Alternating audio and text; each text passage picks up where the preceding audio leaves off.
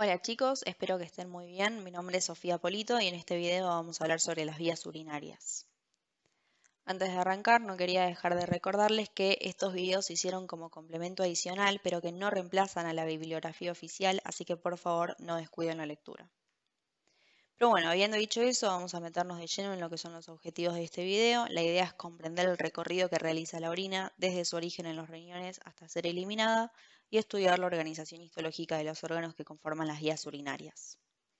Vamos a arrancar charlando un poquito de generalidades. Recuerden que la orina es un ultrafiltrado de plasma. Esta filtración se va a dar a nivel de lo que es la corteza renal.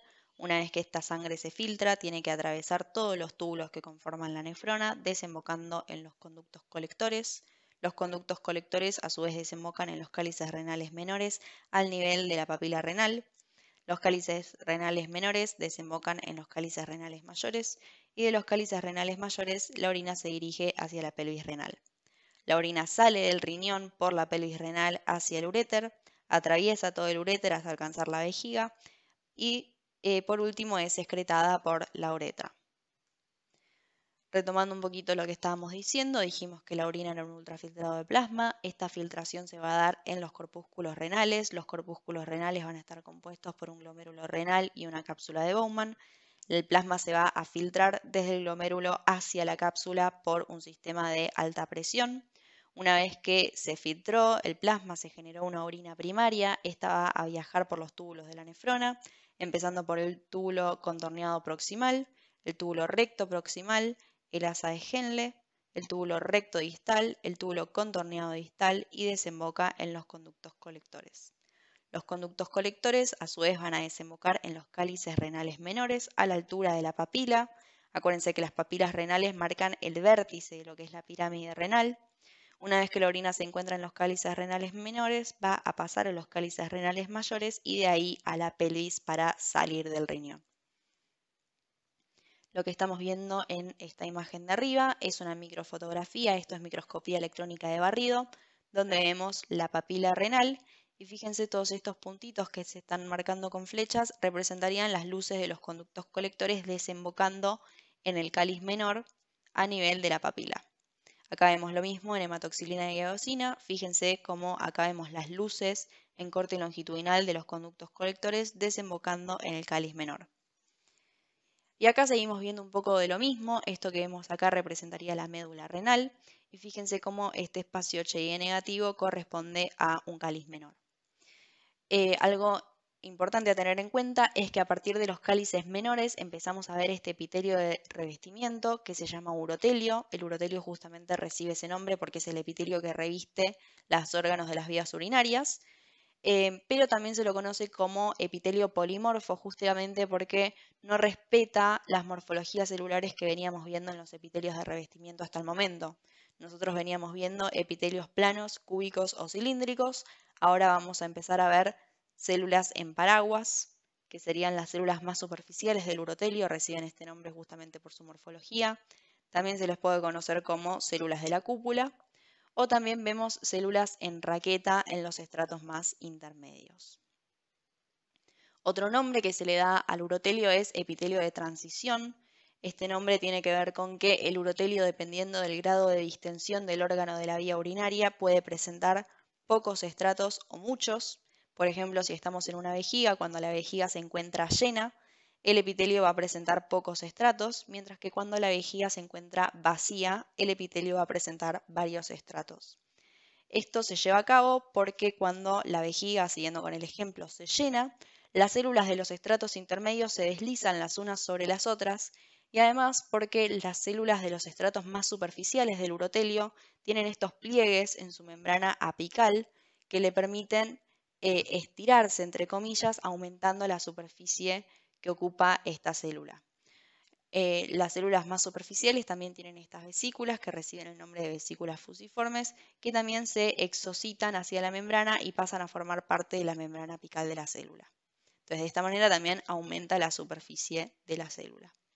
Otra cosa importante a tener en cuenta sobre el urotelio es que en sus células más superficiales, en la membrana apical, va a presentar unas proteínas que se llaman uroplaquinas, Las uroplaquinas, junto con las uniones estrechas, van a formar lo que se conoce como barrera de permeabilidad urotelial, que básicamente lo que hace es impedir el intercambio entre lo que se encuentra en la luz, es decir, la orina, y las células que conforman la pared de los órganos de las vías urinarias. Entonces, cosas a tener en cuenta sobre el urotelio. Número uno, que es el epitelio de revestimiento de las vías urinarias. Número dos, que se lo conoce como epitelio polimorfo porque presenta morfologías celulares distintas, como las células en paraguas y células en raqueta. Número 3, que también se lo conoce con el nombre de epitelio de transición, justamente porque puede pasar de tener varios estratos a pocos estratos, dependiendo del grado de distensión del órgano de la vía urinaria. Y por último, que las células más superficiales del em, urotelio van a presentar uroplaquinas que van a formar la barrera de permeabilidad urotelial. Entonces, pasamos por los cálices menores, por los cálices mayores, por la pelvis y alcanzamos el uréter. Les traje acá este esquema que representaría un corte transversal del uréter para comprender cómo están formadas las paredes de los uréteres y después traducir eso a la histología. Entonces, fíjense cómo acá tenemos la luz. En contacto con la luz vamos a tener un urotelio. Generalmente se describen cuatro o cinco capas de células en lo que es el urotelio del uréter. Subyacente al urotelio vamos a tener un tejido conectivo. Este tejido conectivo hay libros que lo describen como laxo muy celular y otros libros que lo describen como denso. Cualquiera de las dos es correcta. Subyacente al tejido conectivo vamos a encontrar esta capa de músculo liso. Esta capa de músculo liso a su vez se subdivide en otras dos capas, una capa longitudinal interna y una capa circular externa. Puede que lean que la porción distal del uréter presenta tres capas musculares, una capa longitudinal interna, una capa circular media y otra capa longitudinal externa. Y por último, el uréter, al ser un, órgano retroperitoneal, va a terminar con una adventicia, ¿sí? no una serosa, sino adventicia.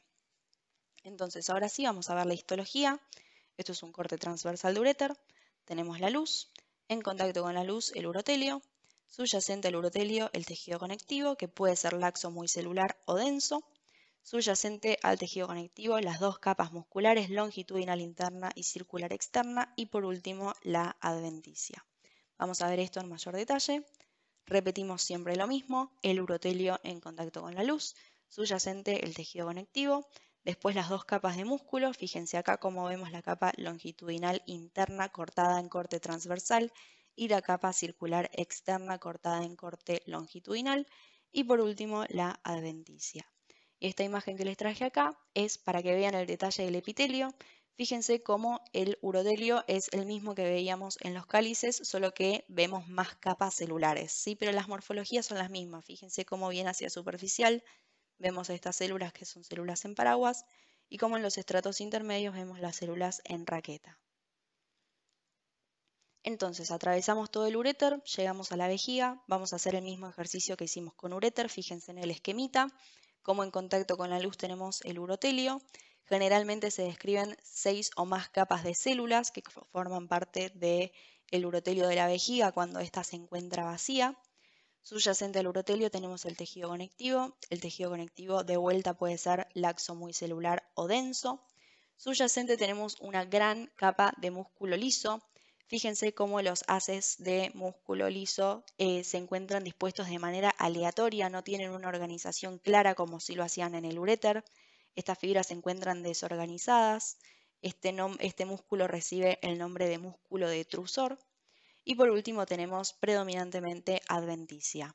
Digo predominantemente porque eh, el peritoneo cae sobre lo que es la vejiga, entonces la cara superior de la vejiga se va a encontrar tapizada por una serosa, pero la gran mayoría de la vejiga va a estar tapizada por adventicia. Entonces ahora si esto lo vemos en un corte histológico, tenemos la luz, en contacto con la luz el urotelio, acuérdense más o menos seis capas de células o más, subyacente el tejido conectivo y después todo esto bien ácido filo intenso correspondería al músculo detrusor. Fíjense cómo las fibras se encuentran dispuestas de manera aleatoria. Y subyacente a la eh, capa muscular vemos la adventicia. Y acá les traje de vuelta el detalle del urotelio para seguir viendo las células en paraguas bien hacia superficial y las células en raqueta en los estratos intermedios. Bien, esto es una imagen de un corte transversal de vejiga y esto es un corte transversal de ureter. Les puse las dos imágenes para comparar y contrastar y que no nos los confundamos. Primera diferencia importante es la morfología de la luz. Fíjense cómo la morfología de la luz del ureter es bien estrellada, mientras que la luz de la vejiga es más bien irregular. Y otra diferencia importante, si le fuésemos a amplificar esta porción de la pared de la vejiga, veríamos el músculo detrusor súper desorganizado, bien aleatorio, mientras que si amplificáramos esta porción de la pared del uréter, veríamos las dos capas ordenadas de músculo liso. Fíjense, vemos acá el músculo longitudinal interno cortado en corte transversal y acá el músculo circular externo en corte longitudinal. Bien, y de esta manera llegamos entonces a la uretra. La uretra, tanto la masculina como la femenina, las podemos dividir en tres porciones. La uretra masculina va a tener una porción proximal que va a recibir el nombre de porción prostática.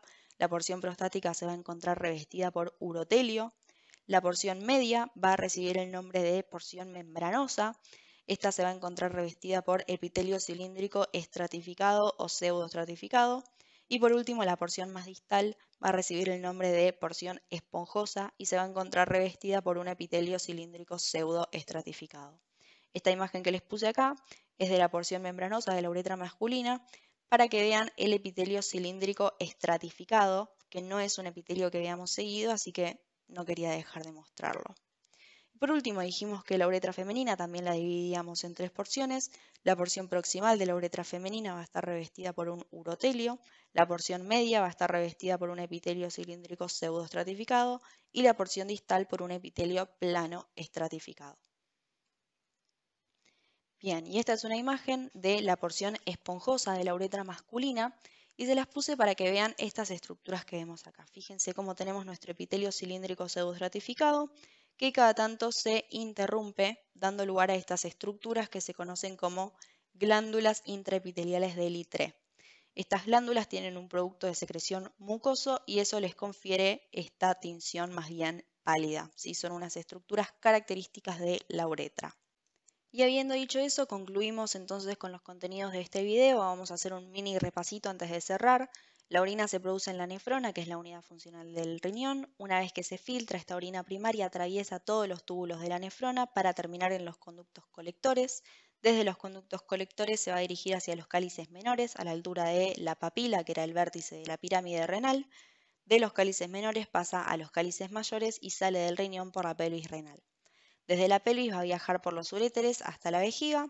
Acuérdense que los uréteres y la vejiga, al ser órganos huecos, se van a encontrar organizados en capas. La capa más interna va a ser un urotelio. Subyacente vamos a tener un tejido conectivo. Acuérdense que lo podíamos describir como laxo muy celular o denso subyacente al tejido conectivo y vamos a encontrar una capa de músculo liso. Acuérdense que en el uréter esta capa de músculo liso la podíamos subdividir en dos capas, una longitudinal interna y una circular externa, mientras que en la vejiga este músculo liso se encontraba dispuesto de manera desorganizada, dando lugar al músculo detrusor.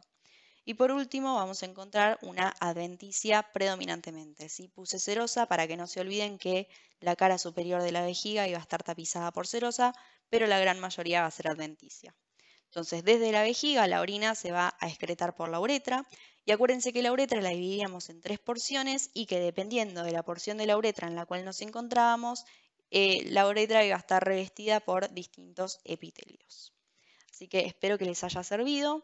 Si tienen alguna duda, esta es la bibliografía que usé, siéntanse libres de consultarla o me pueden escribir a este mail. Muchísimas gracias por su atención, que tengan un muy lindo día. Saludos.